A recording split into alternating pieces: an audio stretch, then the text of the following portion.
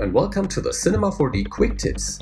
Sometimes when you work on a character or a texture-heavy scene, you may have to unwrap UVs of certain objects. But how can you do that in a symmetrical way? It's actually very easy. Okay, I switched the layout to be Body Paint UV Edit. Make sure that the head is selected and that we are in UV Points mode. In this mode, go to the UV Edit window and select all of the points in the middle of the mesh.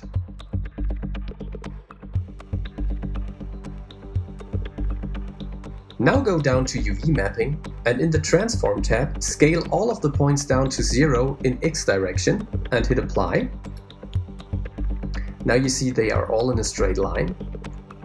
Then go to the relax UV tab, uncheck pin border points because this is an unsymmetrical shape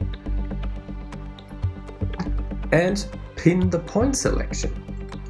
And now if we hit apply to relax the UVs again, you'll see that we will have a symmetrical UV mesh in the end. Thanks for watching! For more information on Cinema 4D or other Maxon products, please visit cineversity.com or maxon.net.